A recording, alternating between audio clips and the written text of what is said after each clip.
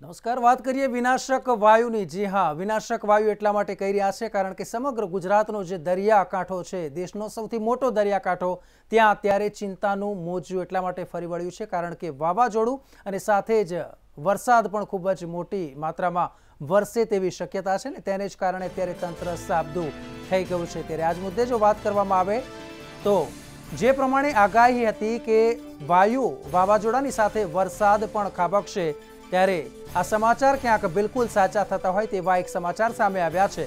ડાંગમાં મેઘરાજાની પધરામણી થઈ ચૂકી છે. ઝરમર વરસાદથી ઠંડક પણ પ્રસરી ચૂકી છે. વરસાદ પડતા સહેલાણીઓ ખુશખુશાલ મુદ્રામાં જોવા મળી રહ્યા છે. તો ડાંગમાં મેઘરાજાની ધીમી ધારે એન્ટ્રી થઈ ચૂકી છે. ઉલ્લેખનીય છે કે વરસાદની જો વાત કરવામાં આવે તો કેરળ, ત્યાર પછી ગોવા, મહારાષ્ટ્રના માર્ગે દક્ષિણ ગુજરાત થઈને ગુજરાતમાં પ્રવેશતું હોય છે ત્યારે જે ગુજરાતનું પ્રવેશ દ્વાર કહીએ તે સાપુતારા અને વલસાડ ગણાય છે.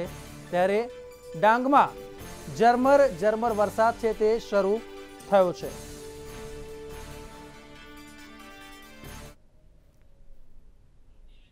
તો જે પ્રમાણે વરસાદ અત્યારે ખાબકી રહ્યો છે. ધુવાધાર વરસાદ છે. તેની જે બેટિંગ છે તે શરૂ થઈ ચૂકી છે. ડાંગ વિસ્તાર અને તેવી જ રીતે નવસારી અને વલસાડના કેટલાક વિસ્તારમાં પણ અત્યારે વરસાદ ખાબકવાનું શરૂ થઈ ગયું છે. આ જે દ્રશ્યો છે જે આપ જોઈ શકો છો અને ડાંગની જ્યારે વાત કરવામાં આવે ત્યારે હંમેશા એક પર્યટક સ્થળ તરીકે પણ તેની ગણના થાય છે. ત્યારે ડાંગમાં વરસાદ આવતાની સાથે જ ખેડૂતો સાથે સૌ કોઈ અત્યારે ખુશખુશાલ મુદ્રામાં જોવા મળી રહ્યા છે. ઉલ્લેખનીય છે કે ડાંગની જો વાત કરવામાં આવે તો ડાંગમાં આજે ઝરમર ઝરમર વરસાદ છે તે શરૂ થઈ ચૂક્યો છે.